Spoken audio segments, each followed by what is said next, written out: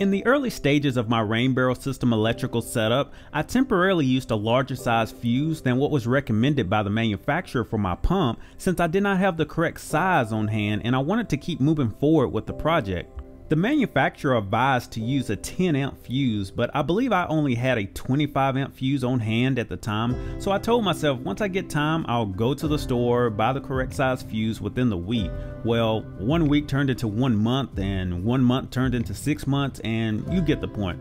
Well, as some of you know, eventually pumps will require some form of maintenance to be performed in order for it to continue to run efficiently, Else, an issue that can occur after internal components experience wear and tear is the pump will start to draw more current since it is having to work harder to do its job. Additionally, when I was first getting started and learning some of the basics, I did not use a filter prior to my pump's inlet port, and I let the pump continue to run for a brief moment while the outlet port was closed off and several other small mistakes that could impact how soon maintenance may need to be performed on the pump. Also, if you've been following me for a while, you know I used a Wi-Fi relay switch that would allow me to remotely control my water pump so I could water my garden from just about any location in the world. Well, the Wi-Fi relay switch included a 10 amp built-in relay, which is very close to the normal amp draw of the water pump. Well, as the pump started to draw more amps due to needing maintenance to be performed, and since my fuse size was larger than my Wi-Fi controller's built-in relay, the Wi-Fi controller was damaged once the pump started to draw more than 10 amps.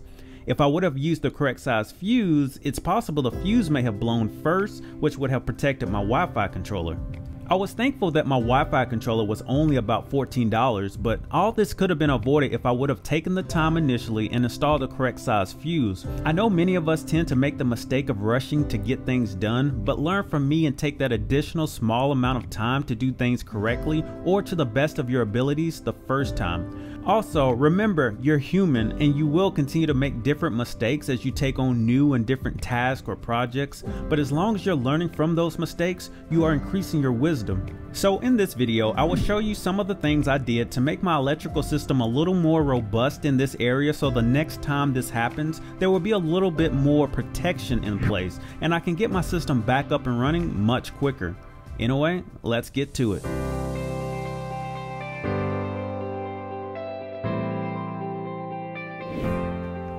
Before getting started on my electrical work, I disconnected my solar power source. Next, I prepped my electrical tote by removing components that would no longer be required. I also wanted to create a dedicated positive and negative bus bar inside my electrical tote so that it was a little easier to visually see most of my electrical connections and so that I could quickly connect and disconnect the electrical wires. Note, I ended up using two different types of bus bars since they were the only types I had on hand and I wanted to keep the overall cost for this project low, but they accomplished the same goal. Next, I ordered some L-shaped plastic feet for my new Wi-Fi relay board to help keep the board secured and in place on my wooden mount. Also, if you enjoy these videos or find them useful, please smash that like button to help encourage YouTube to share these videos with others who may find it helpful and it also supports this channel. I also like that the plastic feet came with screws, plenty of spare feet for other projects, and they were low cost. Once my Wi-Fi relay was properly fastened down, I moved on to the new star of the show, a heavy duty relay that is rated to be able to handle 120 amps.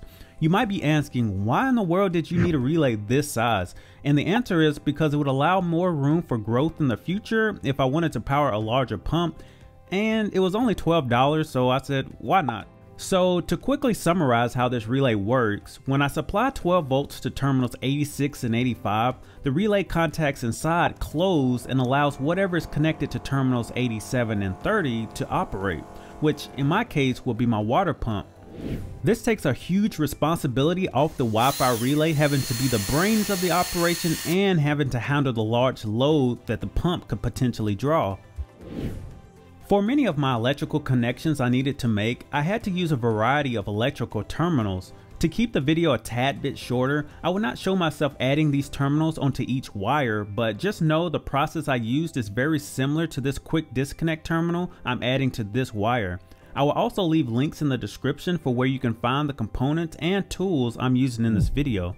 Next, I started to wire up my Wi-Fi controller's relay to the new heavy duty relay. Note, I use the normally open side of the Wi-Fi relay so that if I lose power to my Wi-Fi controller, my pump would turn off by default. Also, you can find an easy to follow picture-based electrical diagram in the description below if you have a hard time following what's connected to what. Also, please understand that the content in this video is not intended to substitute professional advice. Always seek the advice of a qualified electrician for any questions you may have regarding electrical work. Next, I disconnected my temporary positive connection to my water pump since now my heavy duty relay would be responsible for opening and closing this connection to allow the pump to run. Once my ring terminals were crimped onto the positive wires for my water pump, I connected the wires to my heavy duty relay. Note, I also slightly bent the terminals to help guide the wires in the proper direction.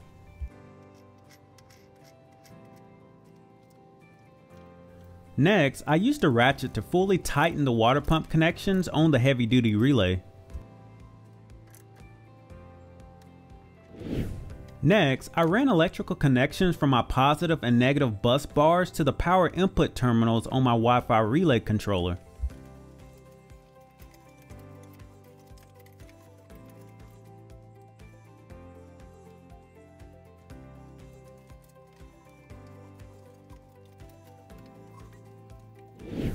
Next, I connected all the negative connections from my solar charge controller, water pump, and battery to the new negative bus bar. Note, I was using a wire connector previously as a temporary negative connection point and running these connections to a bus bar is optional. I chose to do it this way to help ease connecting or disconnecting connections in the future and to keep things a little more organized. Next, I connected the positive connection from my solar charge controller to my positive bus bar.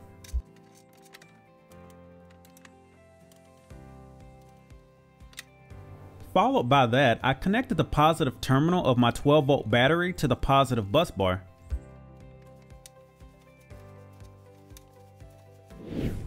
After everything was electrically wired and my Wi-Fi relay had power, I began performing the configuration steps through the eWeLink app so that I could control the Wi-Fi relay remotely from my phone. Since I've already gone into detail in a previous video for how to complete this easy process, I will leave a link in the description for that video and the timestamp. After setting up the new Wi-Fi controller, I performed a quick on and off test to verify the Wi-Fi relay and the heavy duty relay was working properly. The heavy duty relay does not have any type of LED indication when it is energized, but you can hear the relay as it's closing and opening. Also, instead of using a 10 amp fuse to help prevent electrical issues in the future, I installed a 10 amp DC breaker by Midnight Solar. I went with a breaker instead of a fuse so that if the pump ever did use more than 10 amps, the breaker would simply trip and once I fixed the issue that caused the breaker to trip, I could easily flip the breaker back to the on position. Whereas if I used a fuse, I would have to fix the issue and then either find another 10 amp fuse or head to the store to grab another one before I could use the pump again. Also, I decided to mount my 10 amp breaker for my water pump in this enclosure box because it already had a DIN rail installed, but it's completely up to you where you install your inline 10 amp fuse or breaker for your water pump on the positive wire. After the dry test was completed, I turned all my breakers back on and my solar disconnect to perform the final functionality test. When I activated the pump with the eWeLink app, I was happy to see that the system was working as expected. Overall, this was a fun upgrade to my rain barrel system. If you found this video useful or think others may take something away from this video, be sure to subscribe and like the video to encourage YouTube to share this video with others. Thanks for watching and I'll see you next time.